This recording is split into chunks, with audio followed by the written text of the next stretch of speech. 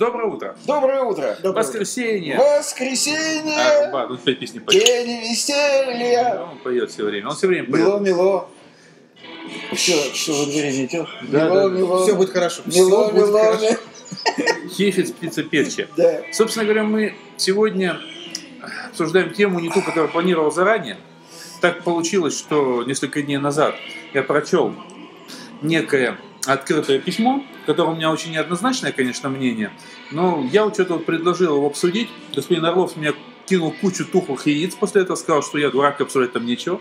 Вот. э, Господин Хефис вроде бы высказал желание это дело все обсудить. Я очень люблю дурацкие темы обсуждать. Да, да, да, В да, них да. истина проявляется быстрее всего. И Самое интересное, что после этого очень много ее читал обсуждений в интернете разных людей, у меня есть по этому поводу разные соображения. Ну, давайте сперва, может быть, господина Орлова, который больше ненавидит эту тему, попросим озвучить, э, о чем там, собственно говоря, речь. Саша, во-первых, не картавь, во-вторых, не спеши. Итак, открытое письмо.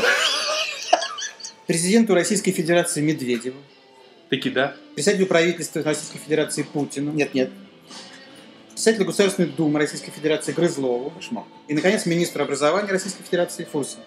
Открытое письмо. Господин президент, господин премьер-министр, господин спикер, господин министр. Обратиться с открытым письмом к вам нас побудило приближающееся принятие федерального государственного образовательного стандарта для старшей школы.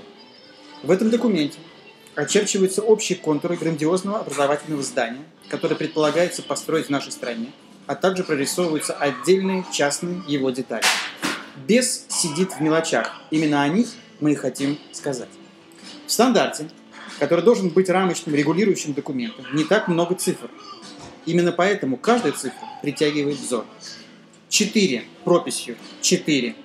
Именно столько обязательных предметов предполагается изучать старшеклассник.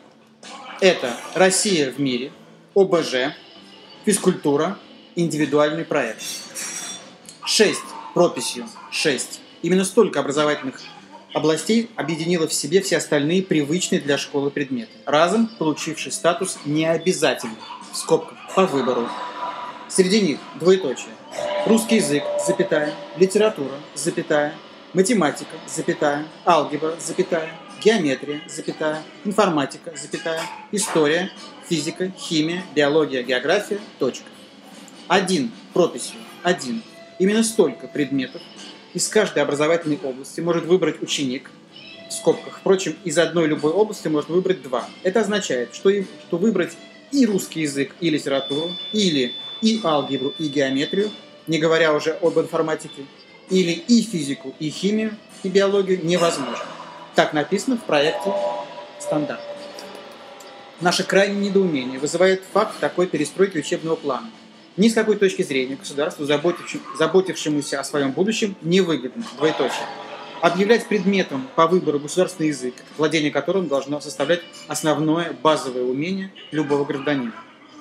Объявлять предметом по выбору математику, представляющую собой еще один язык, без которого не говорит ни одна другая наука. И, наконец, объявлять предметом по выбору историю, без знаний которой нельзя ориентироваться в современном мире, осознавать свои корни, выстраивать стратегию жизненного поведения.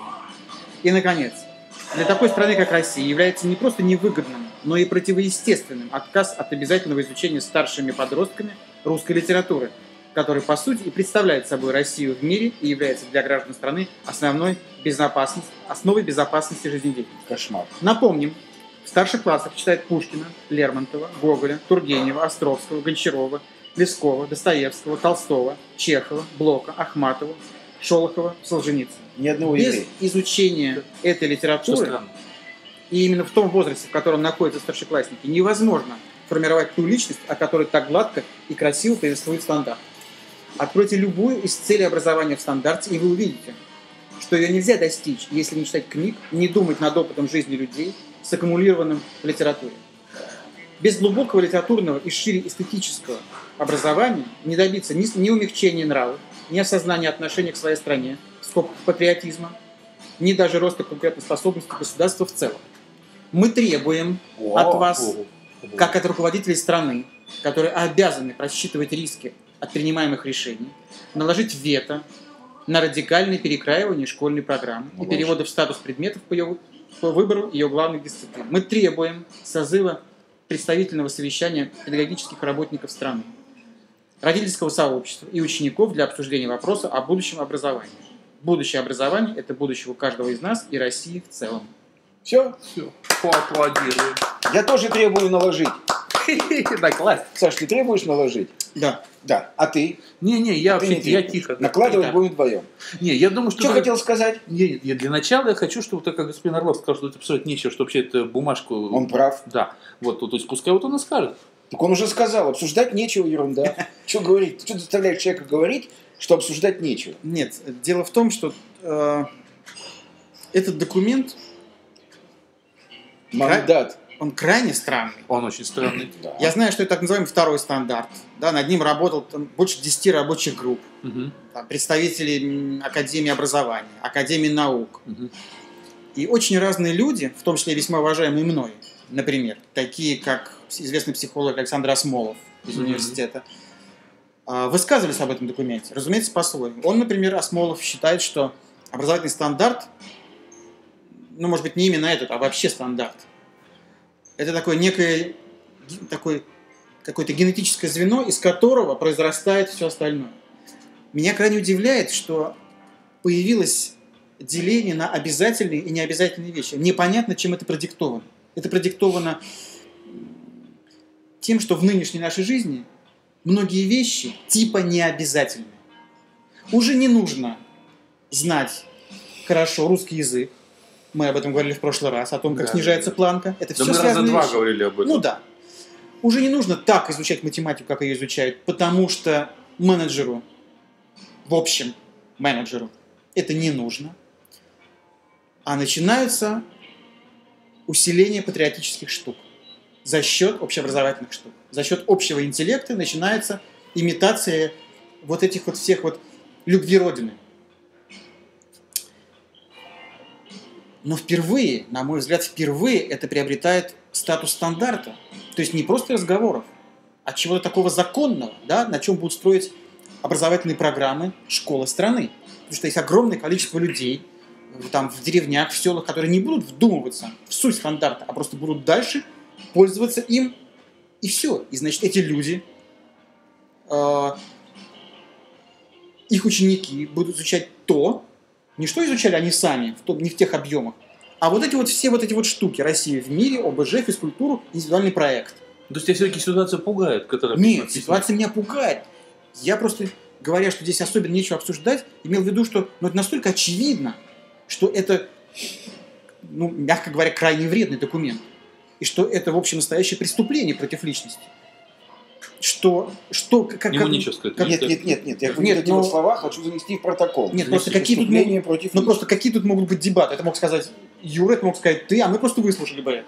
Ну вот смотри, на самом деле, что я имею по, по этому поводу сказать? Самое интересное, что мне вот кажется, что в основе, я не знаю, так вот ты, я тебя не так глубоко знаю вот э, всех этих людей, которые составляли всю там программу, вот, э, мне кажется, все-таки в основе идея это имела совсем другое значение, потому что на самом деле смысл некой профильного разделения, наверное, имеет место, да, то есть, наверное, ну, ну, всем ли нужно одинаково изучать биологию и математику, да, может, все-таки кому-то лучше углубленно в школе э, изучать именно математику, кому-то биологию, кому-то там русский язык и так далее. Все-таки все равно, когда изучают средние все предметы, ни одного толком не получается.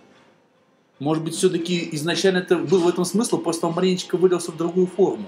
Вот уже там все это, вот, то, то, что мы сейчас видим, то, что мы сейчас обсуждаем, то все это э, ОБЖ там и все остальное, которое за- забрало основы. я просто не знаю, я фантазирую.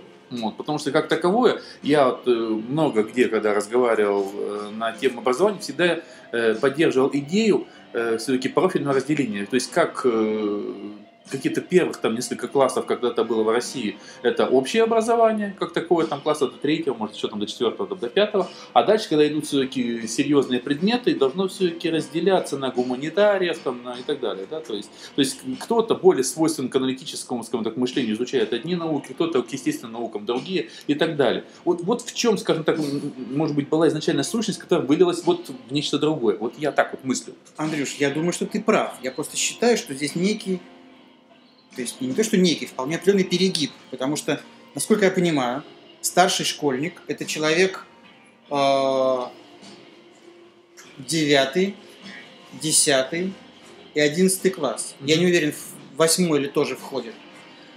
Потому что если восьмой входит, тогда это явный перегиб. Потому что до седьмого класса включительно, получается, Мгм. нужно успеть разобраться с русским языком, как обязательная программа, с математикой, биологией. Это- Я не уверен, что это возможно. Ну я вот нет, я... не- Поэтому, Мгм. я продолжу, поэтому я за то, чтобы была дифференциация обучения последнего года-двух, но только года-двух. Года двух.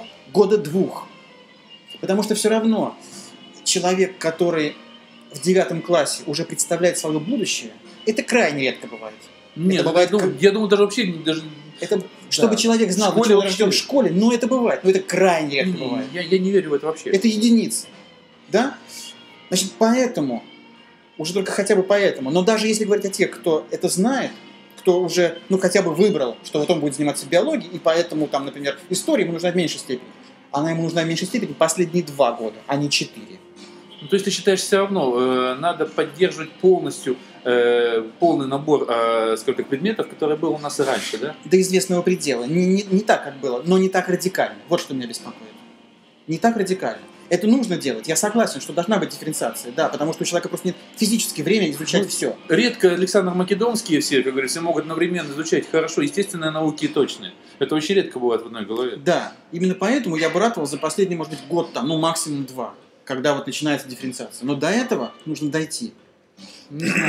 Так, вот А? хифис кряхтит. Не-не-не, у меня просто немножко першит в горле. Сейчас же эпидемия сиф... э, а, эпидемия гриппа же идет. Ты видел это? Знаешь, что из-за эпидемии сиф... Из-за эпидемии гриппа закрыли первые классы на неделю. Ну, правильно, я бы Да. вообще закрыл. Поэтому немножко, всё у меня немножко першит. Э, значит, можно, да? Нужно? Значит, друзья мои, я часто езжу в Израиль. Вы это знаете? Не, я Об не этом уже знаю. все знают. Это знали, как все знают. Я очень часто езжу в А я думал, Израиль. в Магадан. Очень часто. Мне там очень нравится. Ну, просто очень.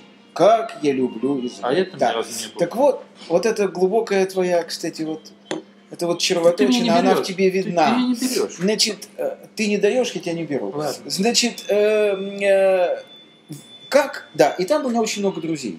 И они все жалуются, говорят, что происходит с израильским образованием. А что с ним происходит? Вот отвечаю.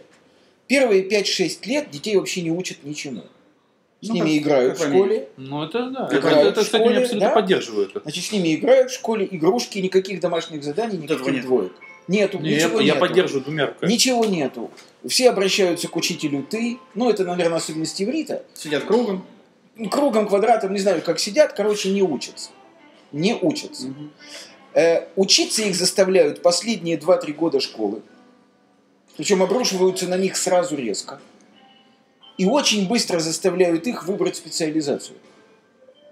Вот куда ты идешь? Компьютеры и биология, например, да? Математика и химия, русский язык и история, да? После того, как ты выбрал, Это в каком классе? Девятый, десятый класс. После того, как ты выбрал, тебя учат только этому.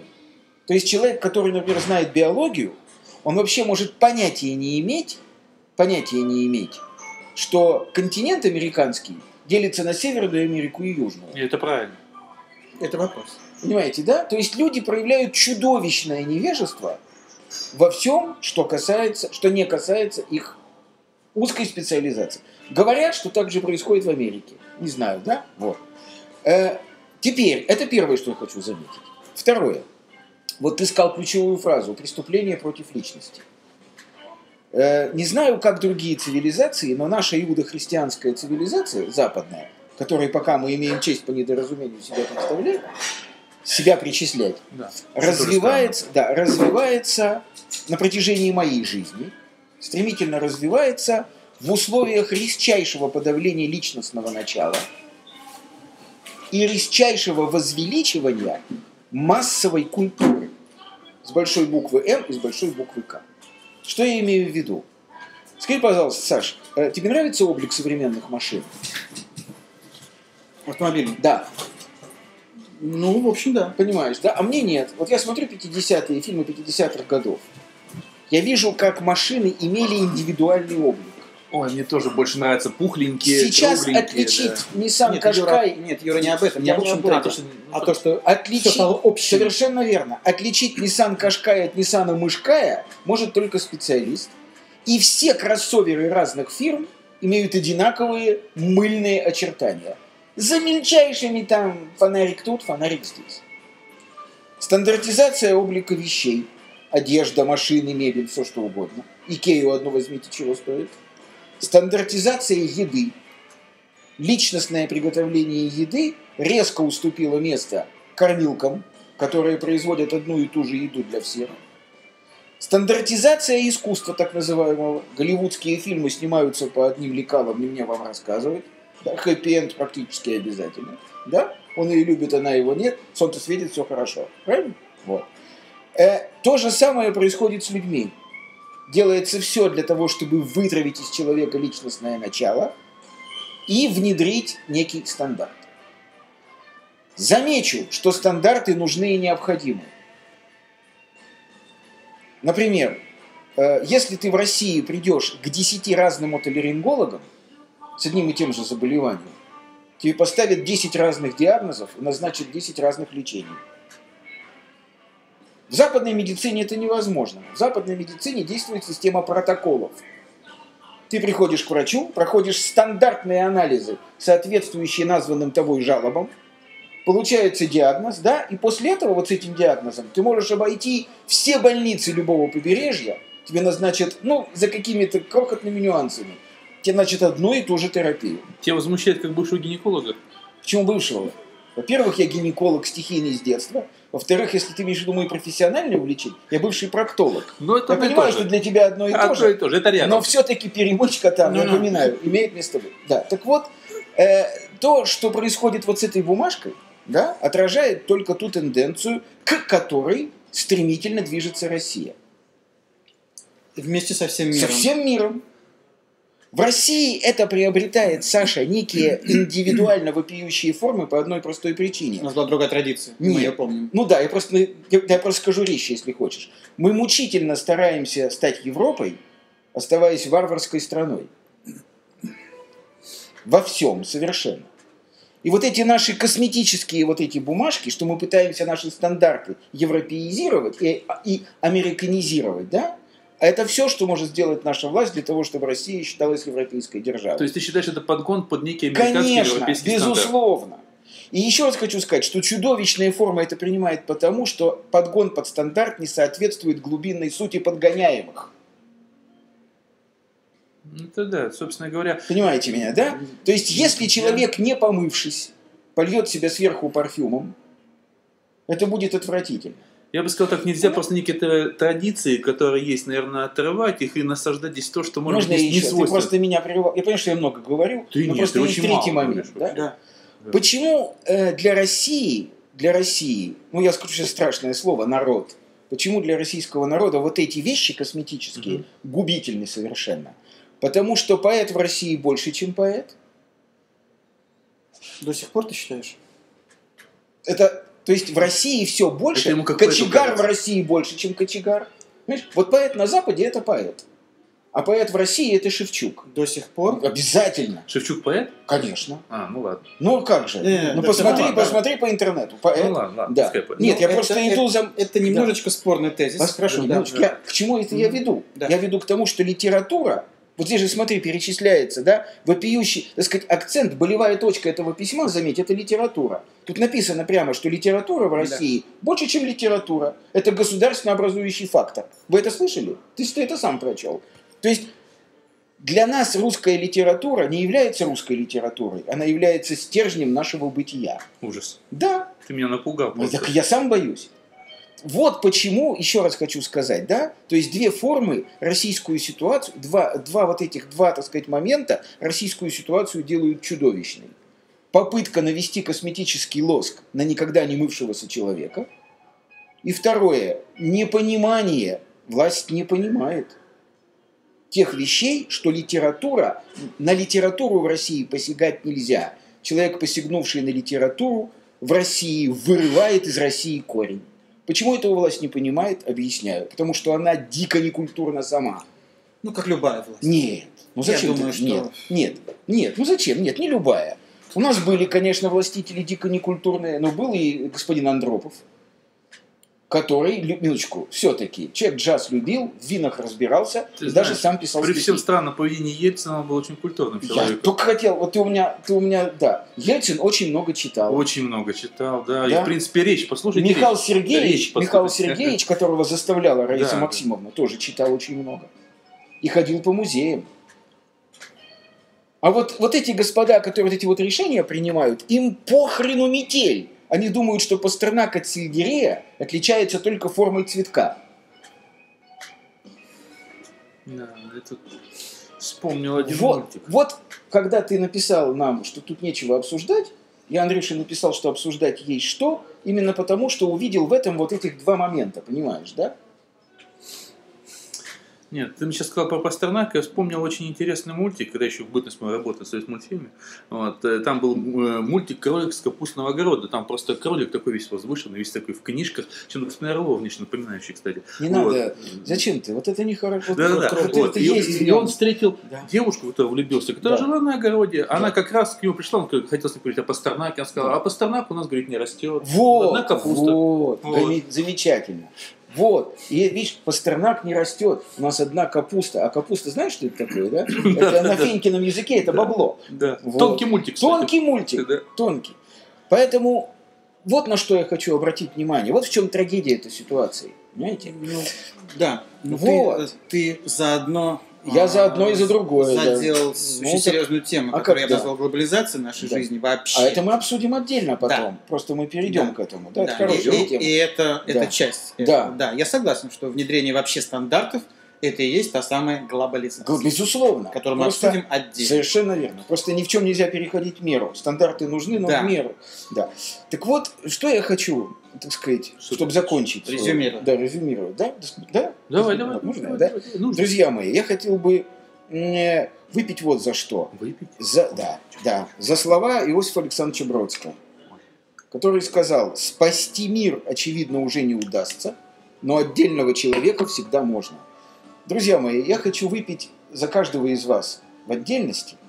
Спасти каждого из нас в отдельности смогут следующие вещи. Можно? Это будет долгий перечень. Ну-ка, давай, Да. давай, давай. Первое. Ну, я, конечно, говорю с точки зрения мужчины. Ой. Я больше, не, я, так сказать, как спасти женщину, я не знаю. Как спасти мужчину, это мужчина знаю. должен знать. Да. Нет, ну, может быть. Да, да, да. Но я не могу на ее месте находиться. Да, на ее месте А ты сказать- попробуй. Да. Юра, Минуточку.